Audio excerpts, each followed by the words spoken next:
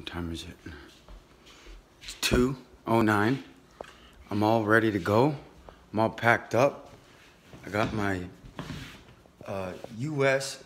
official rucksack. And then my nice Army surplus traveler's uh, poucher. And then I got my sour cream glazed donut. Mm-hmm. Underrated and underpriced. And then I got my um, my saddle bags.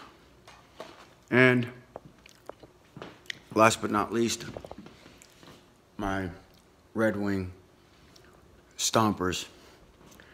And uh, yeah, it's time to, it's time to make a move.